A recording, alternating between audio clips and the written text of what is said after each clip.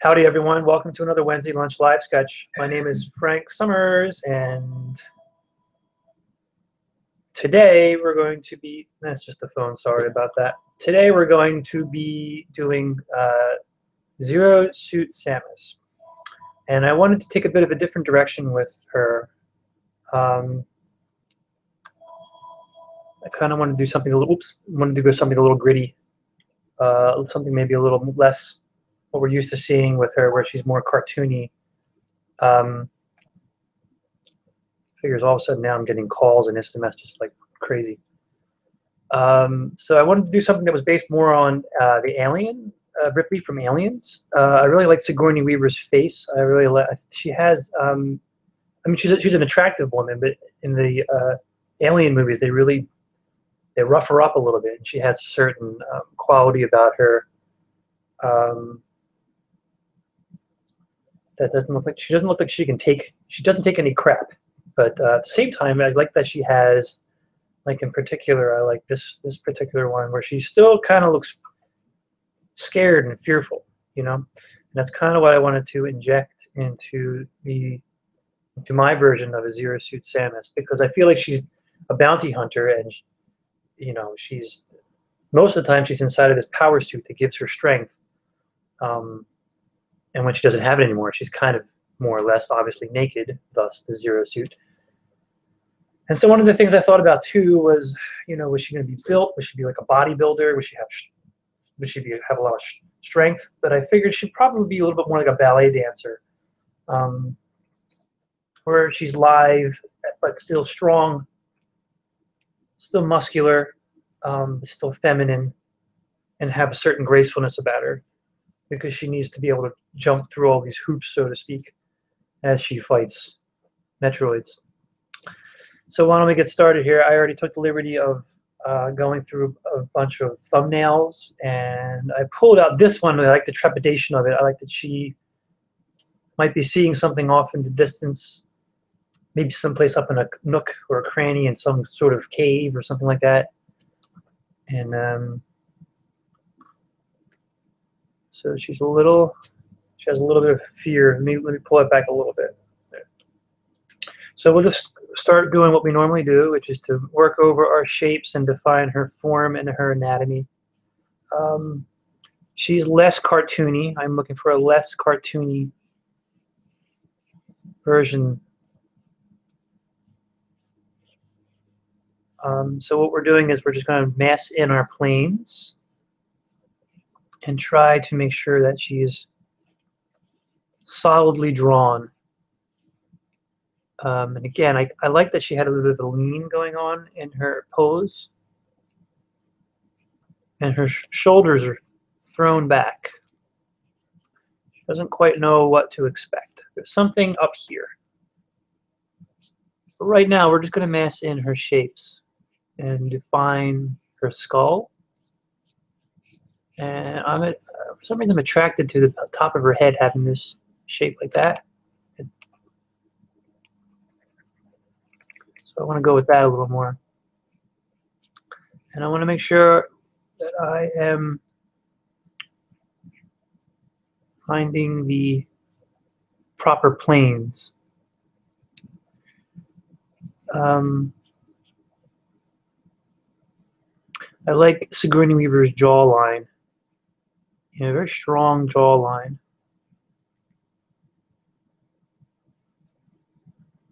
I guess in retrospect, I mean, she really is perfect for that part. She has large eyes, too. Very large, uh, like doe eyes. Um, which help us kind of relate to her a little bit. Okay. And at this stage, I'm working relatively quickly. I'm just trying to find what works. And I think she's going to have, I want my Samus to have thicker, shorter hair that she'll pull up into a ponytail, but it won't go past her shoulders. And I want to have her shoulders be broad, like there's some padding in there. So And again, I want them rolled back. She has some musculature here.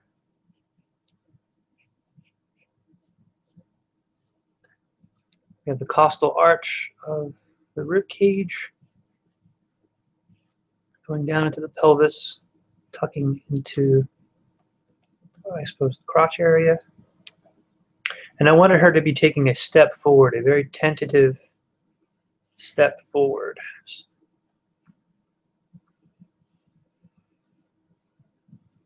Go into our kneecap. So I also came up with a different type of shoe. Something a little more streamlined. Um, I probably could pull it a little more in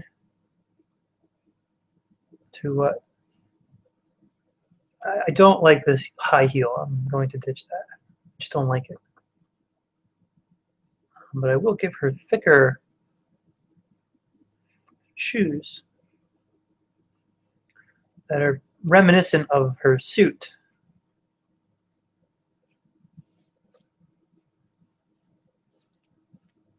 let's get some calf in there. You know, I hope I invite you to listen to me and uh, grab your sketchbooks, grab your pencils, and just put me on in the background and and just draw on your own. You don't have to draw what I'm drawing. Um, but just use this time to work on your own craft, to just to work. It really is important that you just keep working and find uh, a good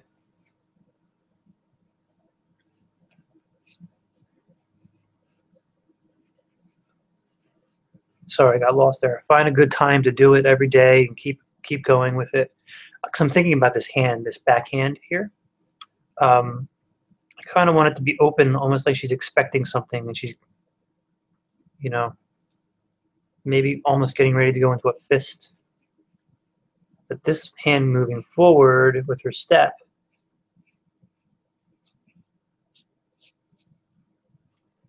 Let's break it down a little more trepidatious. And I'm not quite sure I like the angle of this hand. Um, I mean, she could be swinging it out more to her side, which is feminine.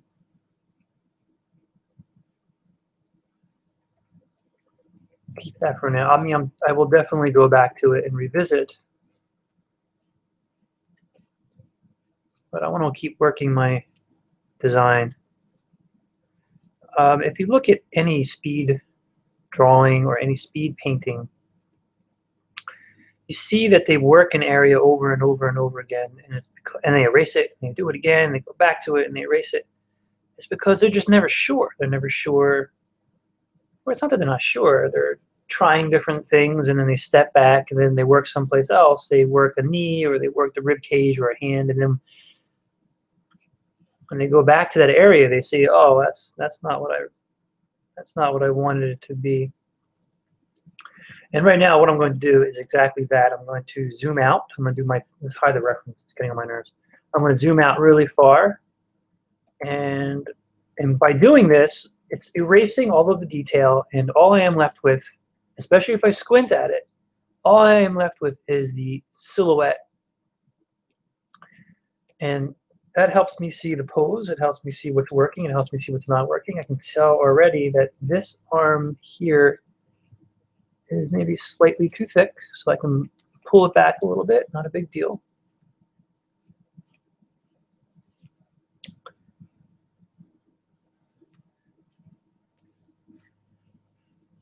I'm to get some traps in there. And let's, let's zoom back out again, and I want to look at her neck. And I feel that her neck is pro zoom out, zoom out. Her neck and her head are projected a little too forward, uh, a little too forward, which is easily remedied. Selecting it and just pulling it back. Just pulling it back, just a hair. And if I zoom out again, do my trick of zooming out, and it feels a little better. Feels a little better. I'm looking at the proportions. I can tell already that. So my rib cage, I, I wrote, wrote in here.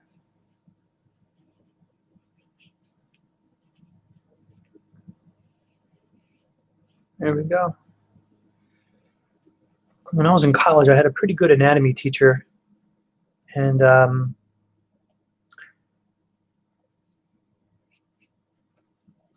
he worked on cadavers. So I believe he taught um, medical students dissection, and he knew all the names of all the muscle groups, and I unfortunately forget a lot of that. And now I want to de-emphasize. I know this is not popular, but I want to de-emphasize her breasts. I, I don't. Of course, she has to have them, and she'll. She's a woman. I don't want to give her giant, massive breasts. My Samus will not have massive breasts. Okay. So I feel like I'm, feel, I'm feeling pretty good about this. I want to zoom in a little bit more, and we can start working her head and her face. So we can make another layer, and we can pull down our other one.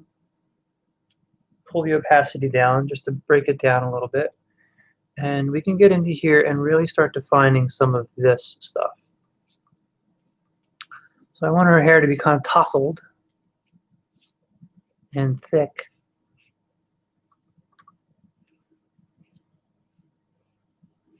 Um, you know, because she's like in a suit all day long. She's she's not going to have the best hair. High cheekbones. I really like Sigourney Weaver's cheekbones and her jaw and her chin. Very prominent, very strong features. And her head is rotated up. So we will see some of the canopy. The canopy of the jaw that exists under here. We'll get a hint of under her nose. The ball of the nose in. Here's the plane of the nose. Here's the nostril. And then build the nostrils out. There we go. And one of the things that I know Samus from the Japanese version, she has these hair, the hair on the side. Um, so I'm going to run with that idea, but make it a little thicker, kind of like our Sigourney Weaver model from Aliens. Tufts, like tufts of hair. It's pulled back into this tight bun on the back of her head.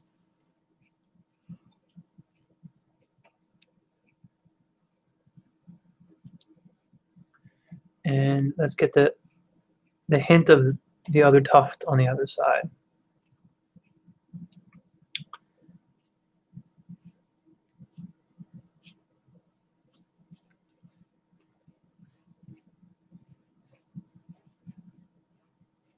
And the hair we can treat with thick pieces and thin pieces.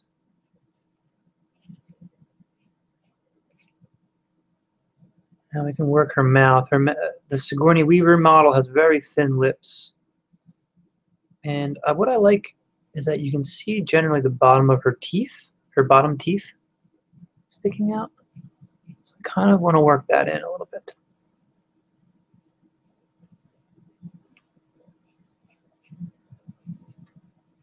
And let's get these eyes to settle into the skull.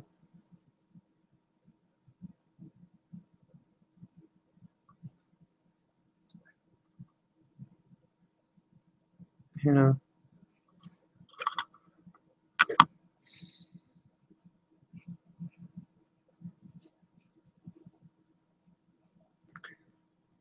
Her pupils looking up and give her some thickness on top to denote some lashes, eyelashes, and thinner brows. I'll go with thinner eyebrows.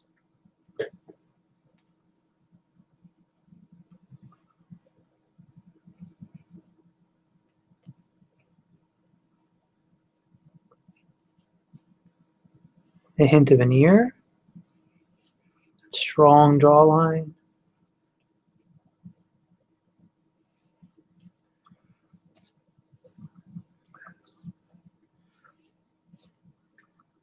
And we can just come down here into the shoulders. And again, I wanted her shoulders to have a little bit of padding in them as if there's something in there.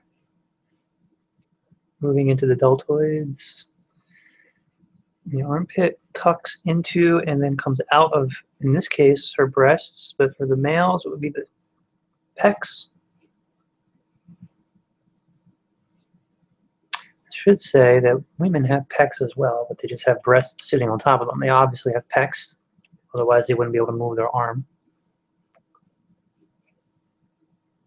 And she kind of has, we'll keep things streamlined. Some muscle. High in the back, low in the front, the muscles ride. They ride like that.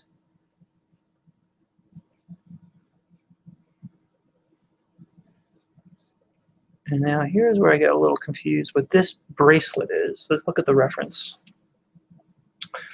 Uh, you know, it's it's a little more rounded than what I have here. So we can go we can go a little more rounded. We can do that. You know, corners are a little more curved. And she has that detailing, which maybe in color I will I will address clearer. And again, the hand, you can just break the hand into pieces, into sh shapes that are more easily digestible. So we have the palm, back of the hand, and our first knuckle right here with the index finger.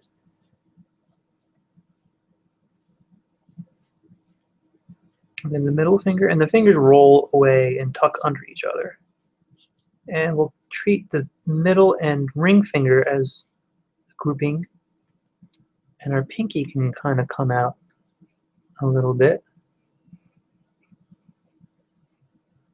to add some variety and interest. I don't want this space to be the same as that space. That works pretty well. I want more space because it, it just adds interest and variety.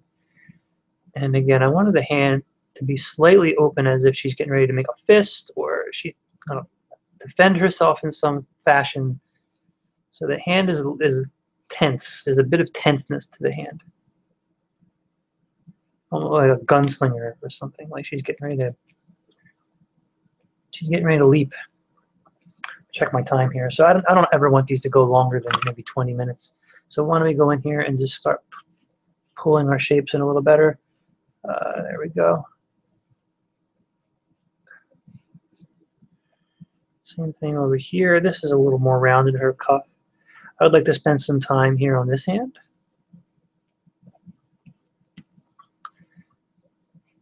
Here's our thumb.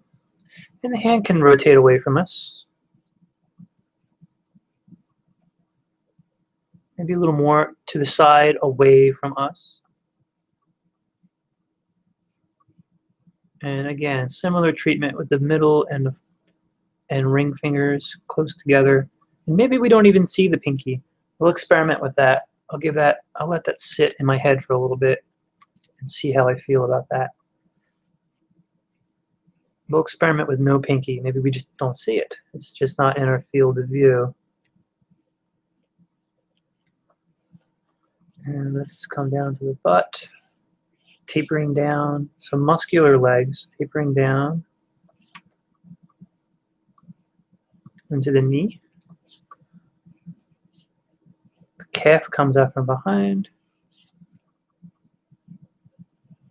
into the shin bone. And again, here's here's an element that I'll borrow from from her Smash Brothers model. I want to kind of keep this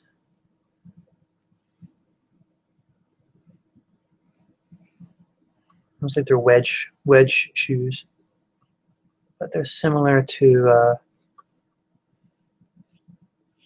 her Varia suit.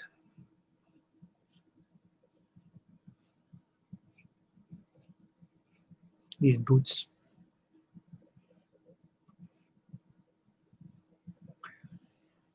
All right. And this leg recedes into the distance. It's behind, it's going back. Okay, good. Now some of the detailing on her. She has some stripes here. And now let me see. So she has a stripe that comes on here and here, and down over her breasts, and down into the sides, wrapping up into her rib cage. This one I can probably just follow the contour and it can just disappear someplace behind her rib cage. Following our contour. These are very graphic lines that are showing us the contours of her body. Uh, I'm I'm going to omit the ones that run down the middle of her chest. They just don't make any sense to me. I feel like they're extraneous. I don't like them. That's my that's my prerogative. If I don't want to use them, I don't have to. And then she does have something along her legs. Mm-hmm. It looks like her Smash Brothers suit is a little different than maybe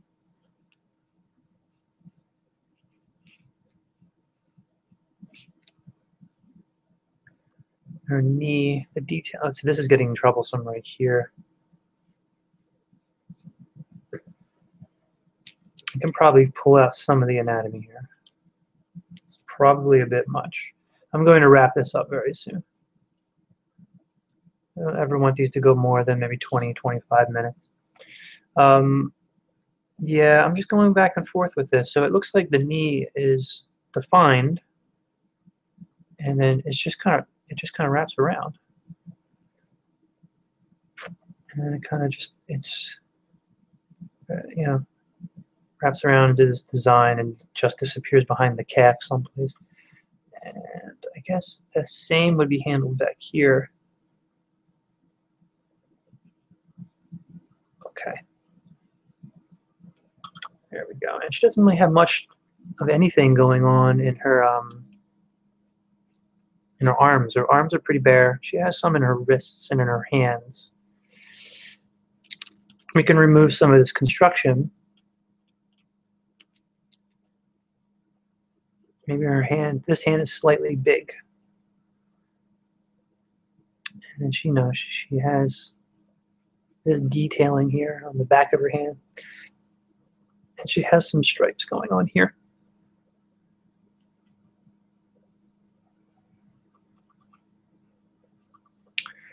Uh, I may take these fingers and move them. Um, I guess I could put them here, above. Pinky? I don't know. Yeah, I go back, I'm going back and forth with it in my head. I'm working very rough and loosely right now because I'm simply trying things and I'm seeing what sticks.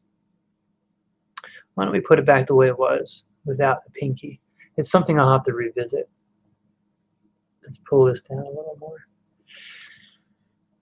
So I can see that the breasts are not properly lining up, so they'll need to be adjusted. And this detailing doesn't help either. The, the line detail it's certainly something that would need to be thrown on after the fact. After you're kind of happy with how everything is sitting uh, anatomically, that is. Uh, but that said, there's my Zero Suit Samus. Uh, I think I'm gonna have like a scar, maybe something to like her cheek. You know, you know, she's got some battle damage, or maybe even pull this hair down a little bit. It's a little. This has gotten the hair down a little too cartoony. Um, so we can just pull it down something more like this. Got a little, a little away from me there. Maybe even introduce some more on this side too, like some along the temple that we, you know. Uh, you know, I'll, I'll, let that sit in my head too. I'm not sure. I might want to keep the silhouette here broken so we can see the brow a little clearer. Okay, well, I think that wraps it up for Zero Suit Samus for this week. Uh, I'd like to go back to just last week's really quickly uh, and address as a critique, because it is always helpful to critique your own work. Um, this guy here, and the only thing that really bothers me the most when I look back on him is I did not detail his shoes nearly as much as I should have. I should have went in there and added some, some, you can probably barely see this because I'm working so lightly. Uh, got a darker color. Some laces, some detailing of the shoe. Um, something minimal, but at least to give us the, the idea that there's something going on with the shoe. And maybe I treated his hat a little too much. I could have pulled it in just a little bit on that side over there a little tighter to his head.